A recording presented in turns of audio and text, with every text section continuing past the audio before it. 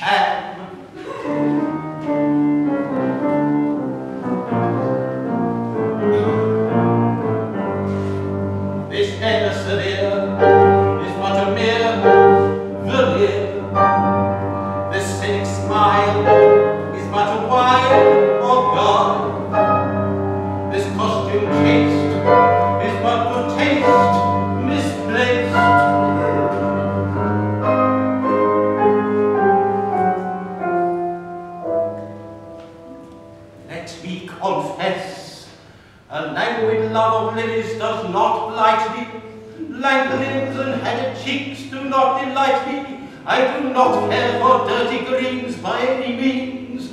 I am not fond of all one sees Japanese. I am not fond of uttering platitudes in stained glass attitudes. In short, my medievalism is affectation, of a morbid love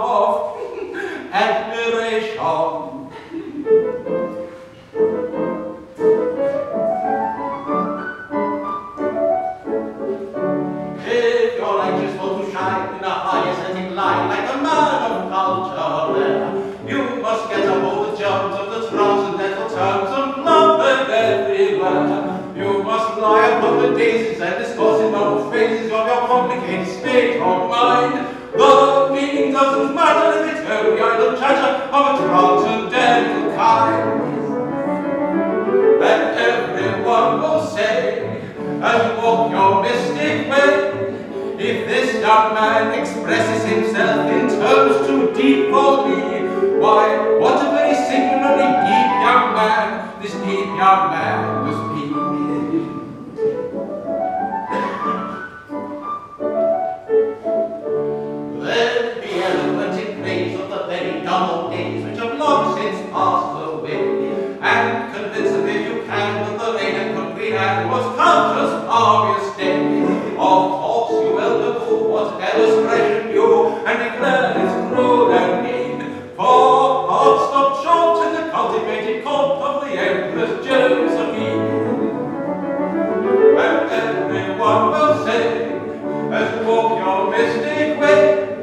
if that's not good enough for him, it is good enough for me.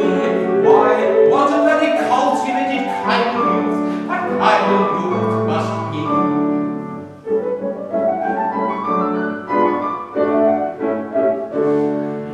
the sentimental passion of a vegetable fashion must excite your on a a potato on a not too French French bean. The Philistines jostle, they will rank as an apostle in the high aesthetic band. If you walk down Piccadilly with a poppy or a lily and your medieval hand. And everyone will say, as you walk your flowery way, if he's content with a vegetable love, it will certainly not suit